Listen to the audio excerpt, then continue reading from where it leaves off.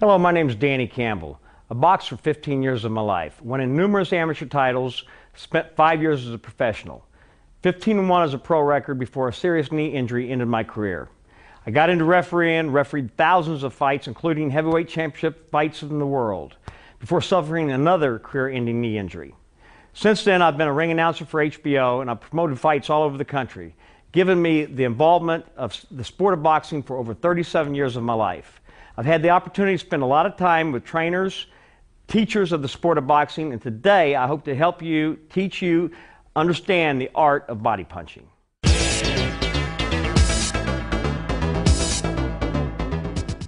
Okay, what we're going to talk about right now is the art of body punching. Remember, in today's times, there are very few great body punchers. People that come into mind Bernard Hopkins, the great middleweight out of Philadelphia, great body puncher.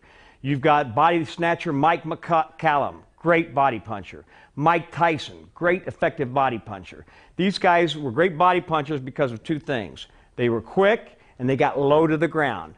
Remember, this is the most important aspect of body punching is to get your knees bent. Fighters don't like to bend their knees and get down low because it takes wear and tear on your legs. Build your legs up. If you do any weightlifting, build your quads up so that you can bend down, get low, take yourself out of the artillery range. Right now, we're going to work on some of the different types of body punches. We're going to begin with the right hand of the body. One thing I want you to remember when you're throwing body punches, don't expect immediate reaction. The indicators that your body punches are taking their toll on your opponent are heavy breathing from your opponent. You see a slowness in his movement. His legs are starting to get heavy. His arms get heavy. You see his arms start coming down. Give your body punches three or four rounds to take effect. You'll see that you become a great, much greater fighter. And the key to body punching is if you kill the body, the head will die. We're going to start with the right hand of the body. The correct way to throw a right hand to the body, you're in your peekaboo stance, is to bend your knees and get down so that I'm eye level with my target. This way, it takes me out of the range. If I stand up here and throw a right hand to the body, my right side of my face is exposed my, for a left hook or any punch my opponent wants to hit me with. So what I have to do is bend down deep so that he can't hit me, he can't see me. I drop out of his side of vision and I throw a straight right hand as if I'm throwing it to the head, but I throw it to the body. One of the keys to this body shot is where I'm placing it. It's not so much to hit him to the body. He'll probably more than likely have an elbow there. So I'm either going to loop this right hand, where I go down and loop it out over to get him to pull his elbow back, or I'm going to throw a straight right hand to the midsection and come right back up. I get down, throw it, back up. I get down, loop it, back up. As a fighter, I would work on this drill over and over. I'd bend down, I check my balance. I check my feet to make sure that my feet, my toes are pointed the right way. One of the real keys here, and one of the most important things, how I suffered a knee injury was my right foot. Fighters tend to carry the right foot, what they call in the bucket, with the toe turning out. If you do that, you see the position of my knee. It limits me to being able to punch with power. Plus, if I do happen to go down, the knee will buckle, chances tearing a ligament there. So I make sure that my toes are pointed forward. I go down. I'm flat footed here. My weight's right in the middle. And I'm on that toe. So I can twist into it. I can twist into it. That is the key to getting low. So practice. Make yourself drop, shoot, up, drop, shoot, up. Drop, loop, up. Do that round after round until your legs get stronger and your balance gets better. You'll become a very effective body puncher.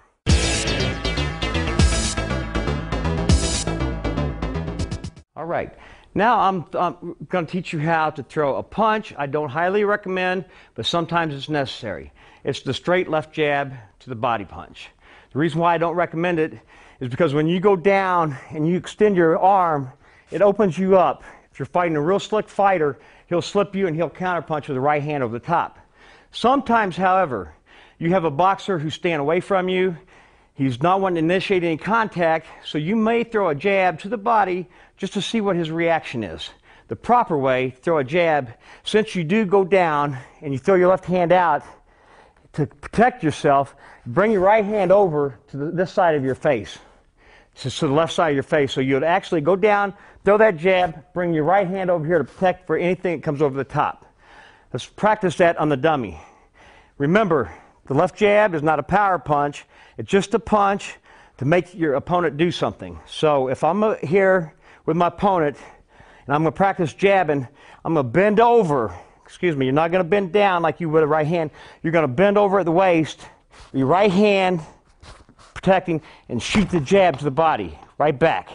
Shoot the jab to the body to get your fighter, to your opponent to react. Once again, I don't bend straight down. I bend over at the waist. Shoot. We'll look at it one more time.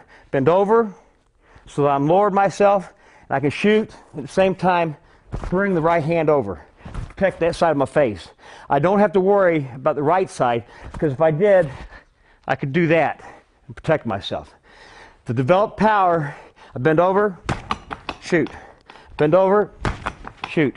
Bend over, checking my right hand. All one motion. Then right back. That is the proper way to throw a jab to the body.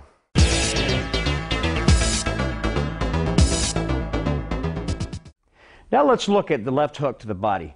Joe Frazier became famous for left hooks to the body. He was a master at doubling up with hooks. He always started to the body. You want to think two things. Most people start at the body, finish with the head. A great combination to work with is start at the head, finish with the body. Something to work on as you're working in the gym. Right now, to throw a left hook to the body, to throw a proper left hook to the body, you want to position yourself two different ways. You got to get your feet under you. You're in with your opponent. You wouldn't throw a left hook out here because you'd have to wide, open yourself up to hit to the body. So you obviously have to take a little half step over to position yourself to the right side of your opponent. When you do that, you can change that weight and just go to the body. It's very important that when you're down, you take your, lift your elbow up, the palm of your hand is vertical with the floor. So you're down, lift it up, you dig it.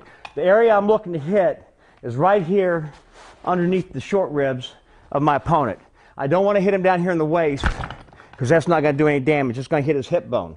It's good, it's effective over a long period of time, but if I'm wanting to make immediate reaction and let him feel it, I'm going to hit him right there, right on that first rib with that middle knuckle. So I'm here with my opponent. I step over both feet. I come with a hook. Hit, drive it in, arc it just a little bit. Practice it again. Do it till you master it. It doesn't have to be a hard punch. It has to be placed perfectly. Perfect place is that top rib just underneath the chest. Just got to be there. A good after you get better at that, practice two hooks to the body. Practice two hooks to the body, right hand. Stay down low. Get yourself down. Check your balance. Make sure you got your balance under you. Place that punch.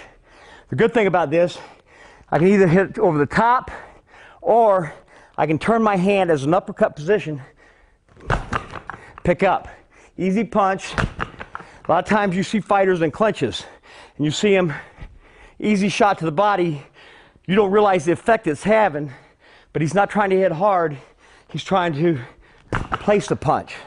Place the punch. It's all the way you turn your hand.